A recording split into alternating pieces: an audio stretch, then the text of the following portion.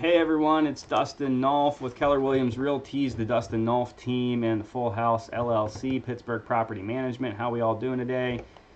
Today we are going to look at for sale by owner, follow-up systems, and marketing routines.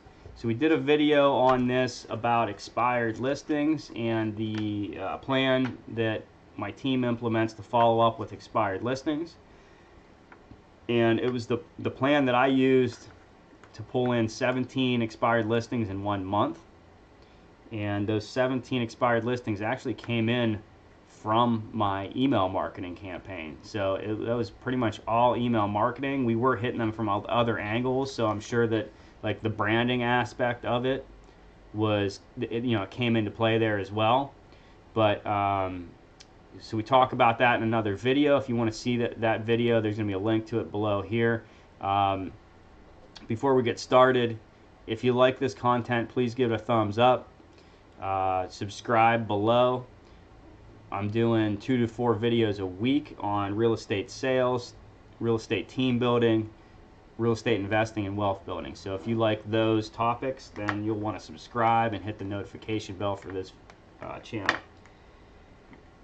So, and before we get started as well, I've got some great links to books below that have helped me as far as my mindset goes, as far as growing my business and realizing time and people leverage and that sort of stuff. So check out those books below. Um, and the the Millionaire Real Estate Agent book, I mean, I push this in any of my sales videos. I really push that book. what we're going to be talking about today is for sale by owner marketing campaign that's based off of the uh, concepts in that book. So check it out. Um, buy it, read that book, use it as your real estate Bible if you're a sales agent. Whether or not you plan on building a team or being a millionaire real estate agent, that doesn't matter because that book is set up where you can kind of read to where you need to and then just leave it at that. So let's get rolling. So let's talk about our for, or for sale by owner follow-up techniques. Now here's the deal. I'm not professing to be a for sale by owner guru. I am definitely, I, I would like to um, be a little bit big ego here. I am definitely an expired listing guru. I can tell you that. For sale by owners, I've done some of them, and actually, I have generated a couple of listings from the same stuff that we're going to look at today. I don't focus on for sale by owners though. Um, however, when I when I have focused on them in the past, I've had good results using these techniques. And it's it's not you know it's, this isn't rocket science, okay? It's marketing. It's simple marketing techniques, and this the same idea can be used to any market and get consistent results. Okay, this isn't just about for sale by owners. You can take these techniques and use them um, to any sort of marketing demographic and get consistent results as long as you consistently implement. Okay, so you got to take consistent action to get consistent results. Remember that. So let's look at this. So for sale by owners, we use a system called Mojo. You can use Vulcan 7 Select. I love Vulcan 7 Select. Uh, it's it's a little bit more expensive, I think, than Mojo, which is why we don't use it anymore. Um, they they both get you similar sort of sorts of results. Uh, I think Red X as well gets you the same sort of results. I'm finding like Mojo and Vulcan 7 seem to be the bigger, the, you know, the most used ones. But they're going to give you expired and for sale by owner data every morning. And you can load that into your CRM system, and then that's where you like really take action is through your CRM system. Um, so we use our CRM that we're using is Real Geeks. Real Geeks is an extremely affordable CRM. I've been through like six or seven CRMs over like eight years. Um, some of it because I was a fool and you know bought into the, those big sales pitches on the two thousand dollar a month CRMs. Uh, other part of it was I was using a, a, CRM that they ended up shutting down and we had to make a decision on something quickly and we ended up not liking the system we were on so we had to switch again. But in any case, I was I used Real Geeks like mm, seven years ago maybe and then ended up coming back to it just now because it's extremely affordable. So number one, it's extremely affordable. Um, number two, it does pretty much everything I need it to do, and just because like it's not necessarily pretty, but it's pretty easy to use. Um, so it, you know, a CRM needs to do some basic things, and they all pretty much do the same thing. So you may as well pick the one that uh, you like to use the best, and it's also the most, most affordable. If you want to check out Real Geeks, I do have a link below. It's only 150, or it'll save you $150 if you go through that link if you sign up for Real Geeks. So check out that link below if you are interested in signing up for a CRM. There are, you know, most brokers do offer CRM. One of the things you want to watch out for, I come from an old school brokerage, and, you know, all of my data that I had in that CRM, when I left that brokerage, they, it was theirs. They took it. Okay. So if you're feeding your broker's database and you're working for an old school broker and you decide to leave at some point, you may lose all of your contacts, and that's why you might want to have your own CRM. Not to be, you know, Mr. Negative Nancy. So let's look at this. For sale by owner, step number one. Get their data from Mojo or Vulcan 7 or some other resource like that. Okay, get the data. It's easier to get the data there. If you're broke and you don't want to pay for that, go on Craigslist and look for for sale by owners. There's a ton of them. Uh, it depends on what area you're in because some areas use Craigslist more than others. But the last time I logged into Craigslist in Pittsburgh, we had over 1,400 for sale by owners in the Allegheny County area. All right. So get the for sale by owner data. Call the for sale by owners. Okay. You need to call them. And when you call them, so the whole idea here is that we want to hit them from multiple angles and we want them to remember our name. So when you call them, like our agents, our agents need to say, Hi, this is Joe Schmo from the Dustin Nulf team calling you about your for sale by owner. How's it going with that? The, the whole idea is that we want to brand them. It's not necessarily about getting the appointment right now, it's about branding the team so they know the name. Okay?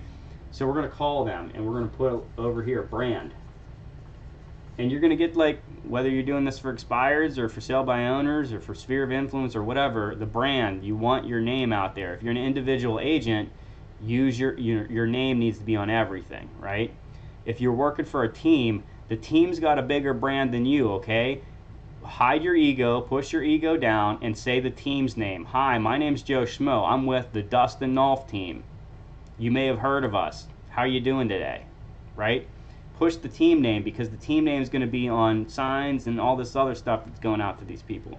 Okay? So we're going to call them. We're going to follow our for sale by owner scripts. We're going to try to get an appointment, but we're also going to make sure we give them our, our brand. Okay?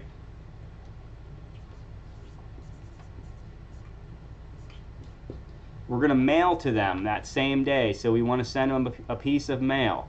Whether we talk to them or not, we need to send them a piece of mail. So again, it's, it's going to be about branding, but we also need to give them something that's going to stick around too. So we want it to be sticky. And what I like to use is I have a magnet, like it's just a simple business card size magnet that's got our team information on it. If I could find one right now, I'd, I'd pop it up. Yeah, here we go. So it's it's just a simple magnet, just like you know your local plumber would send to you or give to you, that you can put right there that you put in the the piece of mail that goes out because what people do they love the magnets. I know i do it. When i get a magnet i throw it up on the fridge and i think well if i ever need a plumber or electrician or whatever i know this is on the fridge so i can go get it. So they might be you know they're for sale by owner but most for sale by owners uh, end up working with a real estate agent 98% of all transactions in the united states involve at least one real estate agent okay uh, and I think it's like 70% of for sale by owners end up listing with an agent at some point. It might be, you know, it might be lower than that now because it's a, it was a strong market recently. So we're going to send them a piece of mail that's got something sticky with it.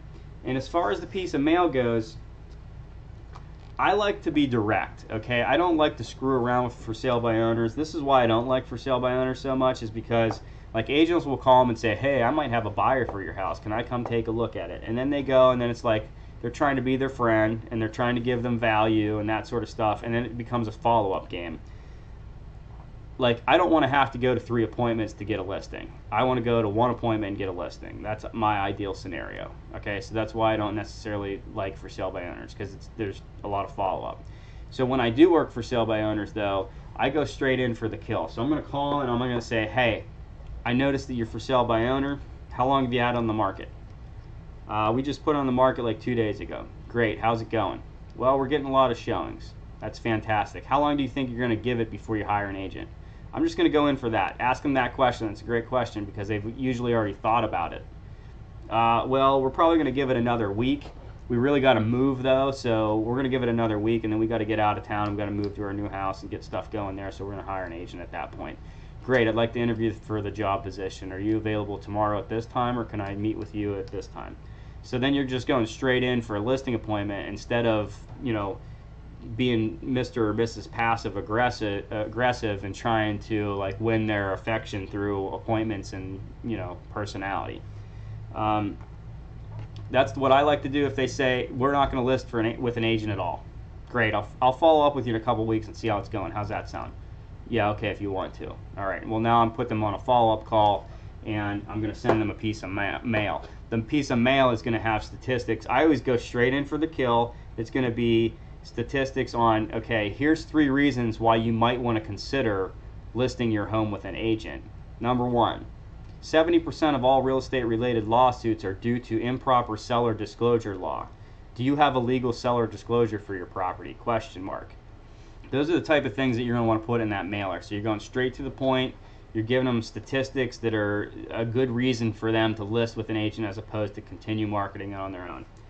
So that that first piece of, piece of mail is going to be powerful and it's going to have something sticky with it. For e uh, email.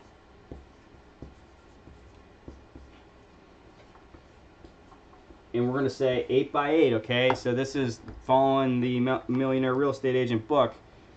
8 by 8 And I, I can't I can't remember what 8 by 8 I think it's like 8 contacts in 8 days. Um, I, I'm I'm really kind of bad on that one because I, I've turned it into my own type of 8x8.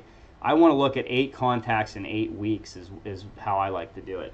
So I don't want to be too, you know, too pushy, but we're already doing some of this stuff anyway.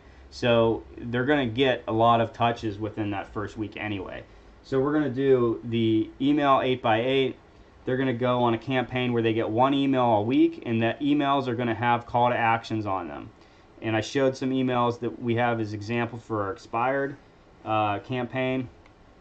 And what we do is we, we try to give them some information where, you know, it might say like for our expired campaign, we can we can use this same blog post in the for sale by owner campaign. Here's three reasons why your home won't sell, and that's it. And then you give them a link to that blog post, and they can go to that blog post and they can read about the top three reasons why a property is not going to sell. And then there's call to actions throughout that blog post for them to either contact us for an appointment or they can get an evaluation on their home, etc., etc. So the emails are going to say stuff stuff like that, and then they're also going to have a call to action in the email that says, "Are you ready to list your home with an agent? If so, please reply to this email and let me know does this time work or does this time work, right? So you're going to have a straight call to action in there. Okay, so anyway, we're going to do eight eight emails over eight weeks, okay? And then you're gonna you're gonna mix that with calls. So I'm gonna put calls again here as number five.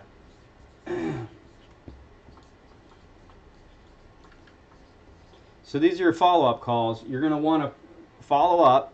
Same thing. You're you're opening with the brand, and then hey, I talked to you two weeks ago, and you said you weren't interested in listing with an agent. I just wanted to call and see how it's going with that property. Have you sold it yet? All right. So between well between all of these you're going to be hitting them like two or three times a week maybe more.